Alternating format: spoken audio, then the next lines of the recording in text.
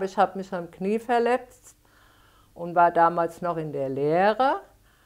Und dann hat meine damalige Chefin zu mir gesagt, also ähm, was mir halt lieber wäre. Hallo liebe Marianne Hertel. Hallo Mara.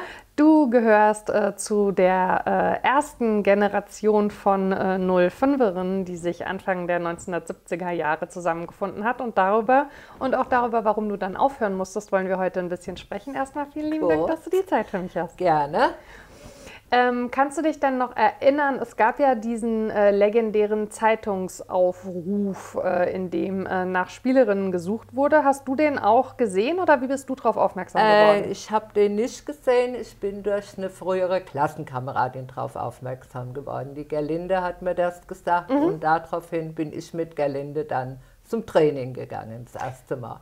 Und ähm, ihr habt euch da äh, an dieser alten Holzbaracke getroffen, ne? Ja, ja. Kannst du dich noch erinnern, wie das so war? Wie war da so die Stimmung? Wie viele Frauen sind da gekommen? Äh, also wie viele genau, das kann ich nicht sagen. Natürlich war man am Anfang ziemlich aufgeregt nervös, weil es war ja was Neues für uns alle. Was war, dein, was war dein Bezug zu Fußball? Wie hast du Fußball für dich entdeckt? Mein Vater war schon immer sehr Fußball begeistert gewesen. Mein Vater war Engländer, also er war West Ham-Fan gewesen und der hat mich irgendwie, ich sage mal, angesteckt, fußballmäßig.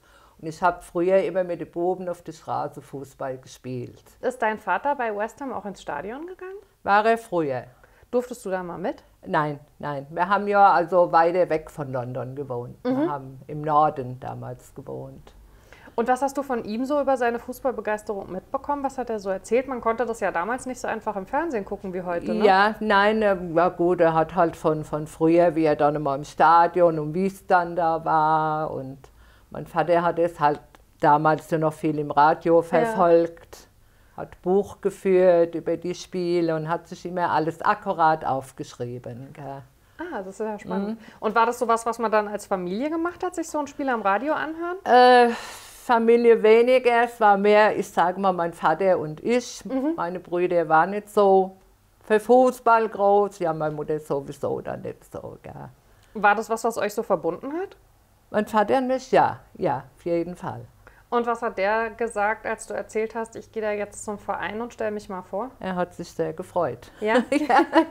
Weil das war ja nicht selbstverständlich nein, zu der Zeit. Nein, ne? natürlich. Wie gesagt, meine Brüder überhaupt nicht viel mit Fußball am Hut und ich dann als Tochter, da hat er sich schon gefreut. Was ich total spannend finde, euer Trainer war ja äh, Günther Planz. Ne? Ja. Und äh, der hat total akkurat Buch geführt. Und er hat tatsächlich für jedes Spiel auch die Positionen aufgeschrieben. Du bist auf jeden Fall bei ihm immer sehr offensiv. Ne? Ja, ja, Das heißt, also, genau. du warst schon auch mit so fürs Tore-Schießen vorne zuständig. Mit dabei, ja, ja. Und kann das sein, ähm, ihr habt relativ offensiv insgesamt gespielt, oder? Ja, ja, ja, das haben wir. Das auf jeden Fall. Weil wenn man sich die Aufzeichnungen so anschaut, waren das fast immer Spiele mit extrem vielen Toren. Mhm, ja, das stimmt. Das stimmt allerdings. Also torgefährlich waren wir schon. Ja, ja, Aber eine Mannschaft gab es, gegen die ihr auch nichts ausrichten konntet. Ne? ja, ja. Werstadt. Die ja dann später auch die erste deutsche Genau, Meisterschaft genau, geholt haben. richtig, richtig. Und wie war so das Interesse im Verein? Wie habt ihr das wahrgenommen? Also ich sag mal, am Anfang war es natürlich schon nicht äh, so, dass der Verein so ganz praktisch, ich sag mal, hinter der gestanden hat. Aber natürlich wurde es mit der Zeit schon besser, auf jeden Fall. Und es sind mit der Zeit auch richtig viele Leute ins Stadion gekommen, oder? Ja, ja, ja, natürlich nicht so wie heute, das ist klar. Aber für die damalige Zeit war das schon viel gewesen, die im Stadion waren. Gell? Ihr hattet ja mit äh, 1817 Mainz auch äh, eine richtige Lokalrivalin. War das was Besonderes, so wie man das heute so als Derby kennt, dass man wusste, man, man tritt jetzt innerhalb der Äh, Stadt an? ja, würde ich schon sagen, dass das wie so ein kleiner Derby war mit der 1817, auf jeden Fall. Du hast dich dann verletzt Ja. beim Spiel tatsächlich? Ja, beim Spiel, genau. Ich weiß zwar nicht mehr welches Spiel, aber ich habe mich am Knie verletzt und war damals noch in der Lehre. Und dann hat meine damalige Chefin zu mir gesagt, also ähm, was mir halt lieber wäre. Fußball oder meine Lehre, halt durch die Verletzung wäre mhm. ich natürlich ausgefallen im Geschäft dann. Mhm. Gell. Naja, gut. Und natürlich, meine Eltern haben dann halt gesagt, klar, deine Lehre geht erst einmal vor. Wenn dir das so einen Spaß gemacht hat mit dem Fußball, dann war das ja wahrscheinlich, also von außen, ne? Äh, die Eltern gucken mm, drauf und mm. sagen, ist ja völlig logisch. Ja, ja, ja. Aber es ist dir wahrscheinlich nicht leicht gefallen, Also oder? nein, überhaupt nicht. Es hat mir schon leid getan. Ich hätte natürlich logischerweise gern weitergespielt, aber wie gesagt, es war halt eine Zeit, da war das noch nicht so mit dem Fußball, dass du jetzt sagen kannst, hier, hör mal zu, das, ich kann ja beides machen. Das, mm. das war halt damals noch nicht so gewesen. Gell. Bedauerst du es manchmal, dass du nicht spielen konntest in einer Zeit, wo du die Möglichkeit gehabt hättest, das eben zu vereinen oder vielleicht sogar dein Geld zu verdienen mit Fußball? Wäre das was gewesen? Mm, ja, ja, doch, ich würde schon sagen, ja. Wenn das geblieben wäre und wie du sagtest, die Zeit jetzt, denke ich schon, dass mir das schon sehr gut gefallen hätte, also mit dem Fußball. Haben denn so die Leute in deinem Umfeld später das gewusst, dass du mal Fußballerin bei Mainz 05 warst?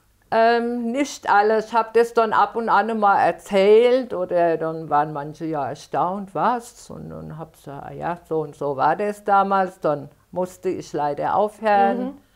Und ja, nee, so hat man das halt immer erzählt, aber viele haben es nicht gewusst, nein. Ist dein Fußballinteresse eigentlich geblieben? Schaust du heute Fußball? Auf Gehst jeden Fall, Verein? auf jeden Fall. Wir sind natürlich große 05-Fans, haben da Away-Karte, sind immer dabei und auch, äh, sagen wir mal, natürlich Länderspiele etc. pp.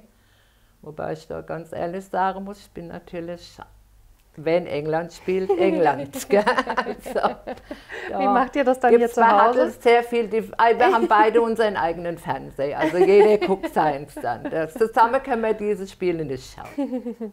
Ich danke dir ganz herzlich, Gerne. Äh, dass du mir ein bisschen, oh jetzt habe ich ein Gummibärchen verloren, dass du mir schlecht. ein bisschen erzählt hast. ja. Nicht, dass es sehr in die Sofa fällt. Du bekommst als Dankeschön äh, in der Wortpiratin Gummibärchentüte die Gummibärchen zum schön. Snacken. Vielen Dank. Vielen, vielen Dank. Gerne.